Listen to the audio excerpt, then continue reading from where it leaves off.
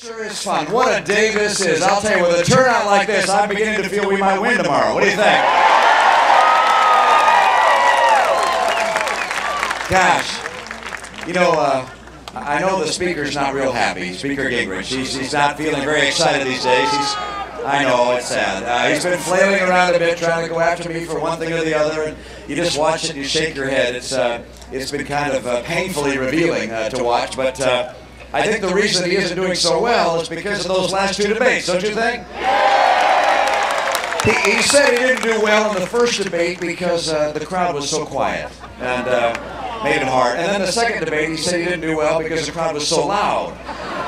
So I guess he just got to have it just right. I think the real reason he didn't do so well is that people had the chance to hear the different candidates and hear their different views, and they heard something they hadn't known.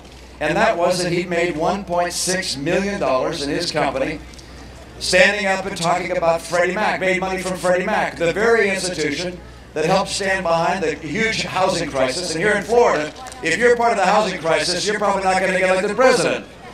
So the people here in Florida said, we're not going to get behind Newt Gingrich, we're going to get behind Mitt Romney. And I want to say thank you to you for your help.